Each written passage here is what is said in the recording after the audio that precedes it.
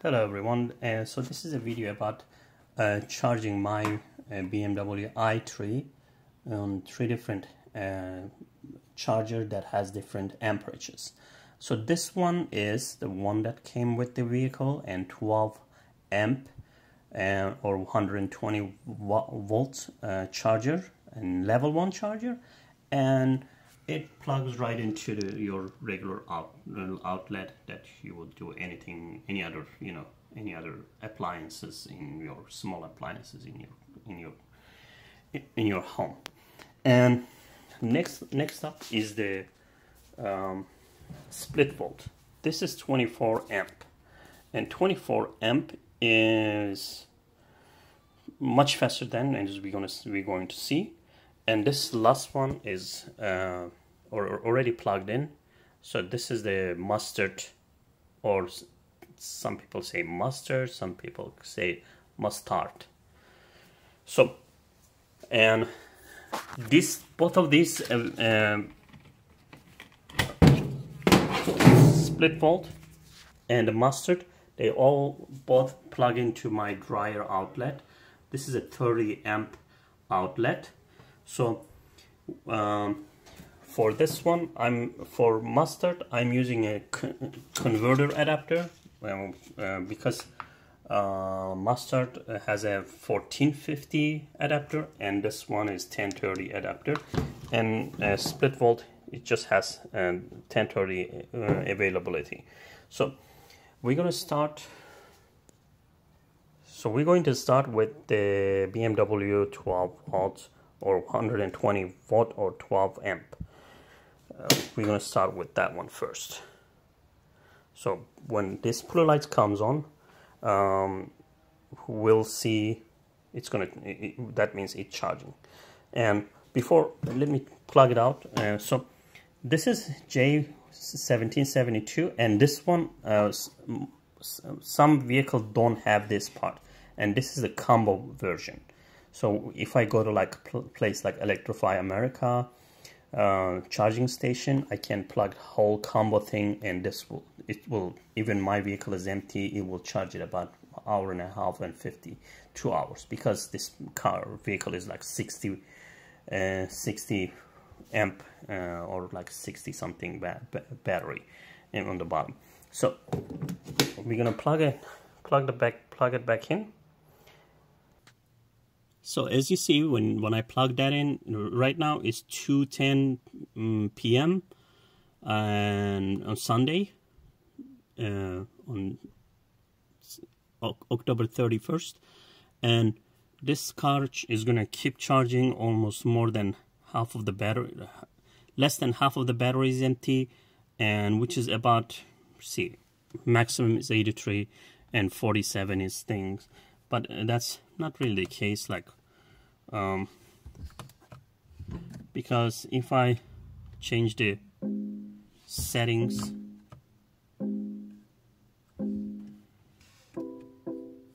see as you see it's jumped to 94 it, it up it, it's up to the which mode you're you're working on. So but still is half more than uh, less than half of the battery is uh, good to go to charging. So um,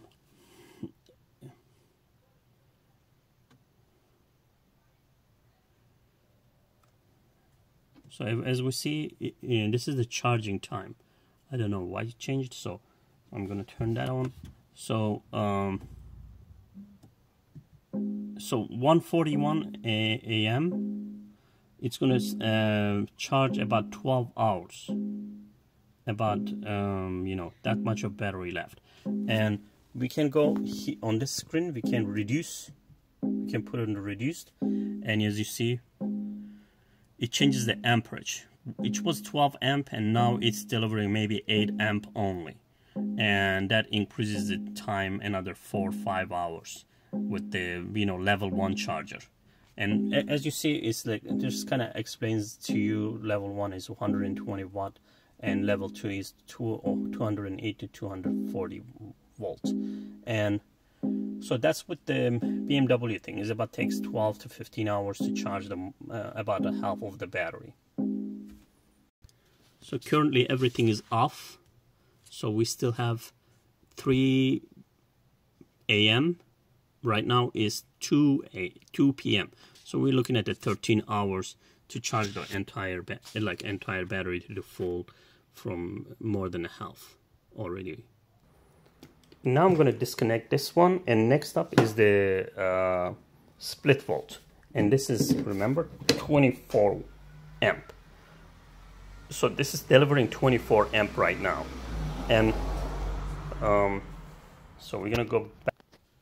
So we're at the back at back at the screen. And screen if you look at it is 253 453 and 453 and right now it's um 214 so about two hour two hours and 40 minutes to charge the whole thing. So 12 uh, level 1 to level 2 it's not divided by 2 so level 1 to level 2 you would expect expect it but like you know at least maybe you will say like oh it's going to be 7 8 hours but that's not that's not the case. So when it comes to amperage it's it it's it doesn't like i guess it doesn't have a straight uh, you know divided by half. Mm, so uh, so i'm gonna go back to this screen. And right now we're in the max. And if you have a lot of time you should mm, i i would suggest put it reduced because that trickles and then slowly charges the battery and kind of like helps the battery's health. And it only adds about an hour so if you don't have any place to go you just at sunday afternoon you're at home and you're not planning to go anywhere and if you, even you do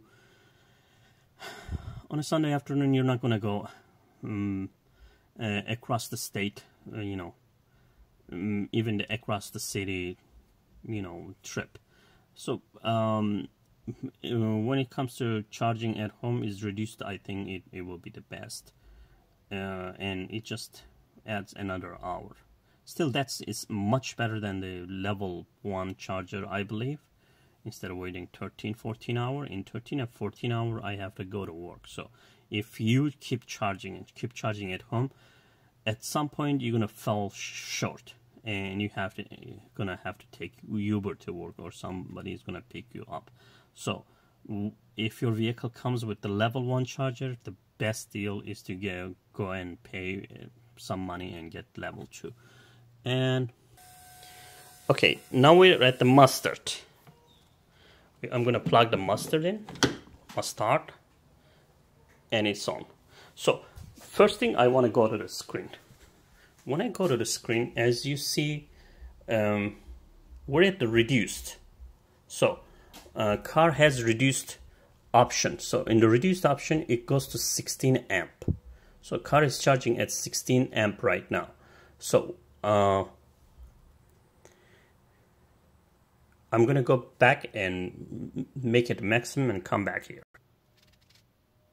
So in 16 amp, like reduced, reduced charge, the 24 amp Splitvolt and 40 amp uh, Mustart, they have a similar charge time because they uh, when you come here and choose reduced, uh, it drops the uh, you know it lets the it lets about 16 amperage uh, to to be delivered to vehicle.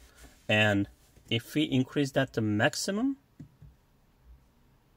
see as you see uh, Mustart for Mustart 40 amp uh, has maybe 30 minutes 20 to 30 minutes better timing than the uh, 24 amp um, 24 amp Splitvolt and you might ask why that is and we're gonna go back to the screen for that so when it comes to that it's because we are even this is a 40 amp charger it can still adjust to um, power delivery from the um, uh, this outlet. This outlet is only 30 amp outlet.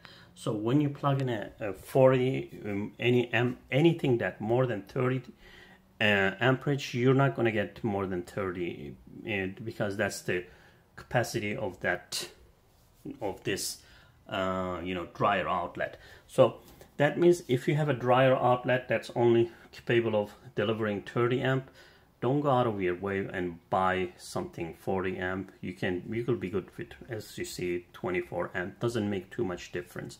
And you see if you see like right here we have uh, we can see the how much power is car is receiving.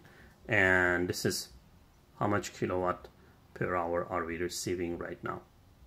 Uh, this is about like the um, general generally that's how much um, you know amp kilowatt you will get per hour if you go to a like charge point uh, sta uh, charging station just uh, level 2 charging station. And I'm gonna go back to the screen and I'm back at the screen and I want to go to that screen show you something here.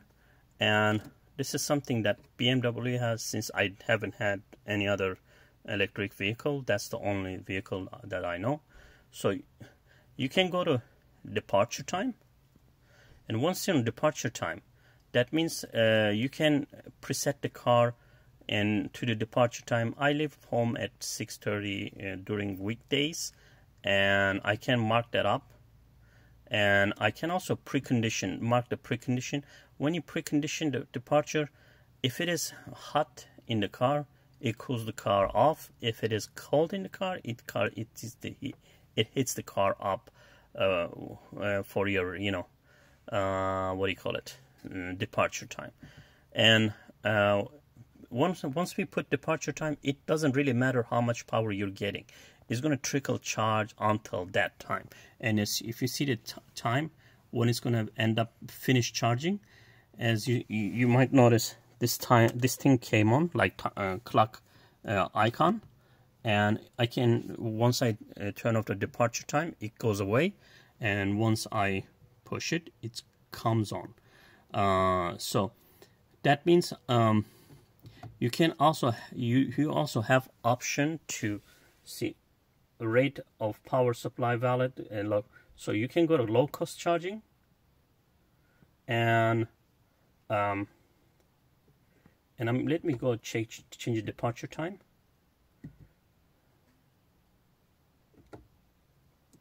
And charging.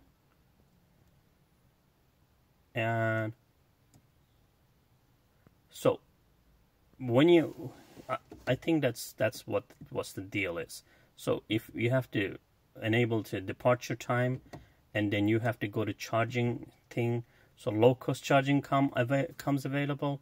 And here you can play with these times. You can play rate start and rate end and those rate starts and rate end totally up to your area. So different um, different power suppliers has different off-peak hours. So around my area off-peak hours are um, from 4 p.m. to 9 p.m. Uh, in some cases it's 2 p.m. to uh, 9 p.m. so between those times the you know um, uh, cost of electricity is a little bit higher than the other times during the day so you can um, set those times and then when you plug your car in as you see it is at 6.30 still it's not charging right now vehicle is not charging right now it's not going to start charging until 10 p.m because that's how I set it up. But today is Sunday. Uh, those peak off peak hours is uh, applicable in my area only during weekdays. So on the weekends, there there are no off peak hours. So uh, right now, I don't really need to use it. But it, whenever I use it, uh, I made that mistake a couple of times. I didn't take this off. So since I didn't take this off, um, when I went to like a, a public charging station, like a charge point, uh, public charging station, I forgot to take this off, and I was expecting the car be, to be full in like about two hours. And I was just walking around when I came back, and uh, it just, it just was horrible. It just uh, had like tiny bit for like maybe two kilowatt. Instead it could have been like all battery charged because I forgot to take the you know departure time off. So it was kind of trickle charging expecting to fill the car until six o'clock. So that's about it. And if you have a question you can leave it in the comment and I will try to answer the best of, of my ability best of my experience with this charging tobacco. So you have a good day and have a thank you for watching